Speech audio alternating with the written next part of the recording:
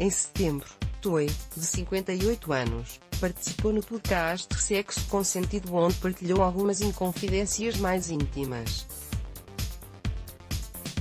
A minha máxima de vida é que as três melhores coisas da vida são duas: sexo. Adoro mesmo.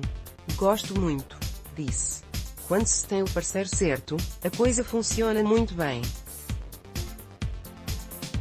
É estranho o que eu vou dizer, mas eu tenho de fazer amor todos os dias. Se eu não fizer, ando mal disposto.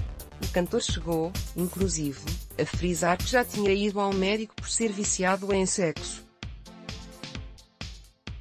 Eu casei-me a primeira vez com 17 anos. A pessoa com quem eu estava casado trabalhava e conversava com colegas. As mulheres conversam, não é? E ela chegava à casa e dizia: Não é possível, tens de ir ao médico. E fui. E era uma coisa qualquer que tem a ver com vício, disse no podcast Beatriz Losta. Toy confessou à revista Nova Gente não ter ficado agradado com as repercussões que as suas declarações tiveram, tal como a sua mulher, Daniela. Não achou muita piada e eu também não. As pessoas vão dizer: se não querias que se soubesse, não dizias.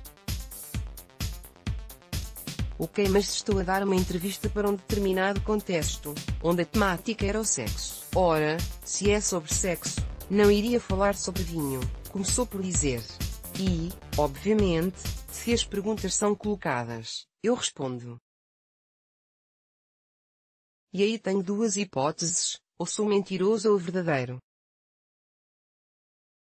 Também podia ser hipócrita e fazer de mim o ser humano mais perfeito do mundo e digo tudo o que as pessoas querem ouvir, afirmou. Em jeito de conclusão, o cantor garantiu que não é viciado em sexo.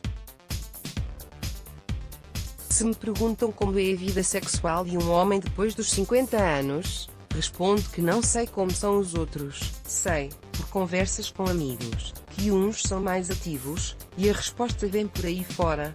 Viciado não sou. Um viciado é um louco. Provavelmente, tive momentos na minha vida, mais jovem, em que tinha ainda mais apetência. Adblock teste, oi?